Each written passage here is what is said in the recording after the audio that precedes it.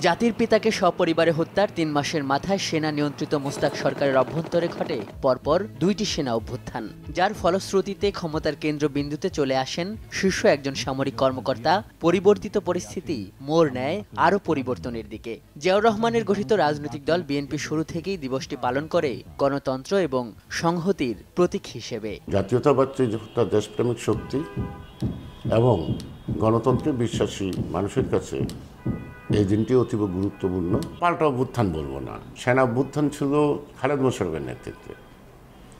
কিন্তু খালেদ মোশারফকে যে পরাস্ত করা হয়, তার বিরুদ্ধে যে ভূমিকাটা নেওয়া হয়, এটা ঠিক অভ্যুত, সেনা অভ্যুত্থান বলা যাবে না।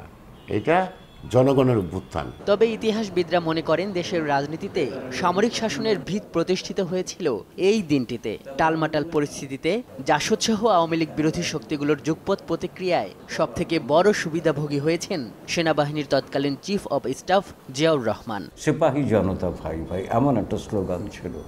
কিন্তু ওই সংহতি তাৎক্ষণিক বহিঃপ্রকাশ ছিল বলা যায়। ওই সংহতি পরে আর টেকেনি। এই জন্যে জিয়াউর রহমান ক্ষমতা নিয়ে থিতু হবার সঙ্গে সঙ্গে সেনাবাহিনী তার ঔপনিবেশিক কাঠামোতে ফিরে গেছে, জনবিচ্ছিন্ন হয়ে গেছে। তো কাজে এটাকে বিপ্লবও বলা যায় না সংহতিও বলা যায় না কিন্তু একটা বড় ঘটনা।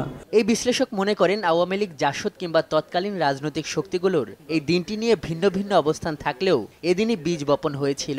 পরবর্তীতে দেশের রাজনীতিতে বড় ভূমিকা পালন করা বিএনপির। জিয়াউর রহমান একটি পক্ষ খালেদ মোশাররফ একটি পক্ষ জাসদ আর একটি পক্ষ। সবাই এই টালমাটাল অবস্থার সুযোগ নিতে চেয়েছে এবং এই লড়াইয়ে এক পর্যায়ে এরা সবাই মিলে বঙ্গবন্ধুর সাথে বিট্রে করেছে। সশস্ত্র বাহিনী পনেরোই আগস্টে রাজনীতির বারান্দায় উঠে এসেছে। আর সাতই নভেম্বরে রাজনীতির অন্দরমহলে ঢুকে গেছে। পনেরোই আগস্ট না হলে সাতই নভেম্বর হতো না, আর সাতই নভেম্বর না হলে বিএনপিও হতো না। মুক্তিযোদ্ধাদের মধ্যে নানামাত্রিক বিভাজন, উচ্চাকাঙ্ক্ষা আর স্বার্থের দ্বন্দ্ব সেনা ছাউনিতে সাতই নভেম্বরের প্রবণতা তৈরি করেছিল বলেও মনে করেন এই বিশ্লেষক। আজহার লিমন, সময় সংবাদ, ঢাকা।